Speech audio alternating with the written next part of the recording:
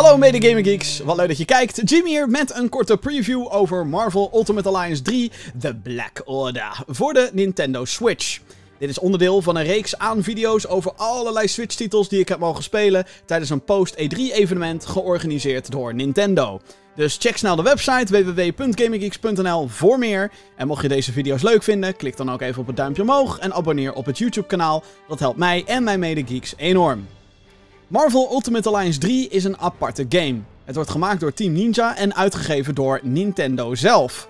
De eerste twee Ultimate Alliance games verschenen gedurende een periode toen het Marvel Cinematic Universe nog lang niet zo groot was als dat het nu natuurlijk is. Het leek er toen ook op dat licenties makkelijker te verkrijgen waren. Dus ja, er kwamen regelmatig games uit en ook Marvel games. Ja, het was gewoon niet zo'n big deal. Maar nu is Marvel natuurlijk de crème de la crème. Op het hoogtepunt van zijn populariteit, denk ik. En dit is een aangename verrassing voor de fans. Want het is een soort van liefdesbrief naar ze.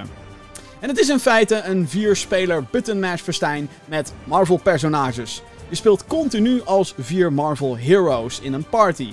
Dus ongeacht of je met 1, 2, 3 of 4 spelers op de bank zit, uh, met deze personages ga je door een level heen en ram je bad guys kapot. Dus ook als je gewoon met één speler zit, dan zijn er vier heroes en dan kan je dan tussen switchen. Dus dat is wel cool.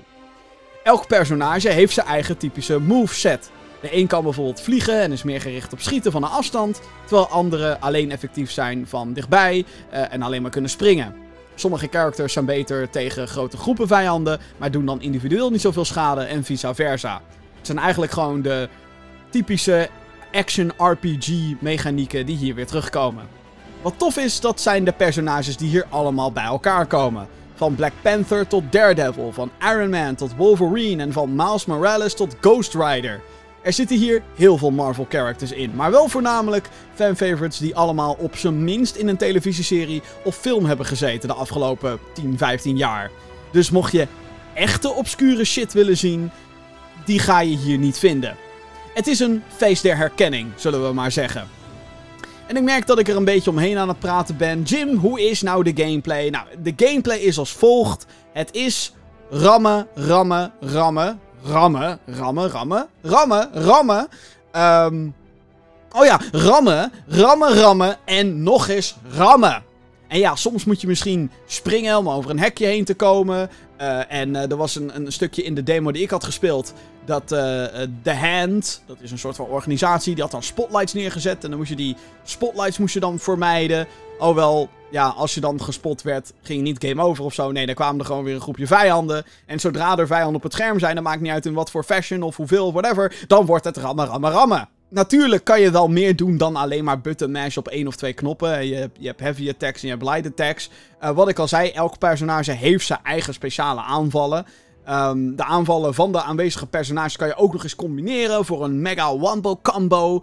Um, en het is ook zo dat sommige teamcomposities kunnen zorgen voor wat bonussen. Dus daar komt dan een strategisch aspect bij kijken. Het is zeg maar best wel logisch dat als je bijvoorbeeld Spider-Man en Miles Morales met Iron Man en weet ik veel, War Machine hebt, dat dat dan misschien een bonus kan opleveren omdat die personages goed kunnen samenwerken.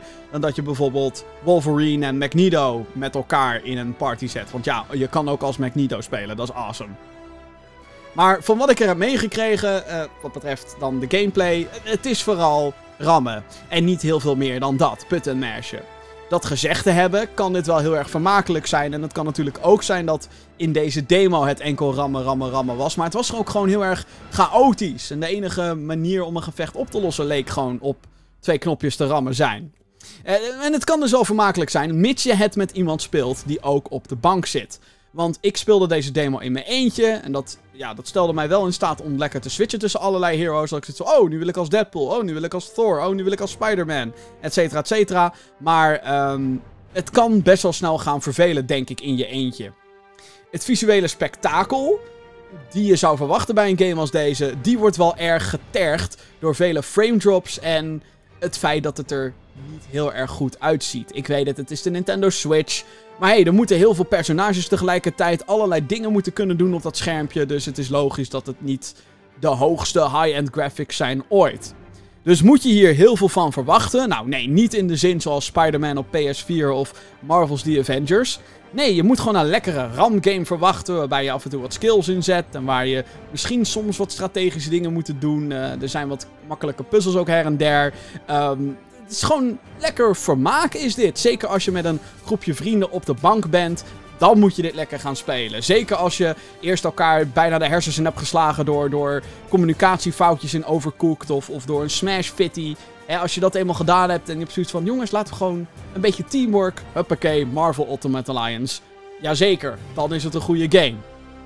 Marvel Ultimate Alliance 3 verschijnt 19 juli voor de Nintendo Switch. Ik heb nog meer previews van Nintendo Switch games, dus ik zou zeggen, geef deze video even een duimpje omhoog, abonneer op ons YouTube kanaal en ga naar onze website www.gaminggeeks.nl voor laatste gaming nieuws en meer video's natuurlijk. Bedankt voor het kijken en tot de volgende.